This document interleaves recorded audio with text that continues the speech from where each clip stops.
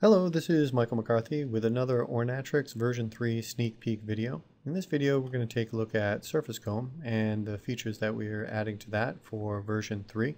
Surface Comb allows you to comb your character's fur over the surface so that you can kind of puff it out, make sure it's close enough to the body or uh, kind of poofy and at the ends you can kind of make them curl over or kind of uh, point back as you can see here using this curve.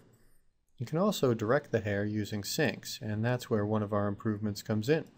So if I click on Create Sink, then we can direct the hair with the body to easily position it along the arms or legs, and even along the head.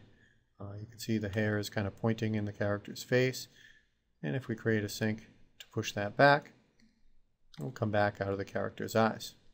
Now previously you might have had to uh, delete and recreate these sinks and now you have the ability to edit them so that you don't need to do that. So if this one wasn't in the correct place I could go and select the uh, root of it and now I can actually move it over this character's surface. So that's a very handy and requested ability.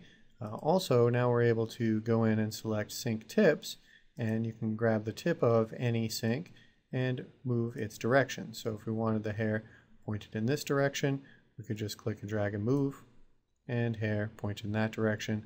We can click and drag and move it. So if you created a sink and it's not quite working in the direction that you want you can easily go in and edit. So those are a couple improvements that we've made to uh, surface comb as well as the sinks of course you can also set a sink to uh, not be a directional but attract hair or repel hair in any way that you like. So there's a sneak peek of what we're doing with sinks in Ornatrix version 3. Thank you very much.